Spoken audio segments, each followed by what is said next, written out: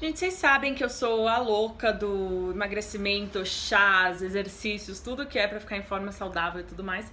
Então hoje eu vou ensinar para vocês a fazer um dos meus chás favoritos, que é super diurético, super saudável, acelera o metabolismo e deixa a gente assim, ó, magérrima. Eu vou fazer um chá verde com hibisco e com gengibre natural. Então vamos lá. Primeira coisa, vou pegar uma raiz de gengibre fresca mesmo, descascar e ralar é, um pedacinho assim grande. Eu gosto do chá mais fortinho. Ó, vai ficar assim. Eu vou jogar dentro de uma chaleira. E eu acabo jogando o pedacinho que sobra também, que a gente nunca consegue ralar. Joga lá dentro. A chaleira de água e vou pôr pra ferver.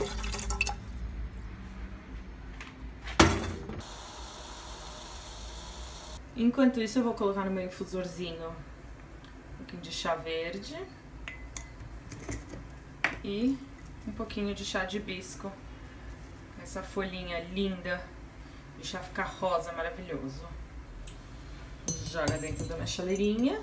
Eu vou pegar aquela água com gengibre e jogar aqui dentro. A água, gente, tem que estar tá quase fervendo, só que não fervendo mesmo, porque senão ela queima as folhas do chá verde e o chá fica amargo. Deixa aí três minutinhos. Três minutinhos mesmo, gente, porque o chá verde fica amargo se ele ficar mais tempo, tá? Então só três minutos. Conta, bota no despertador. A mão cheia de chá verde. e prontinho.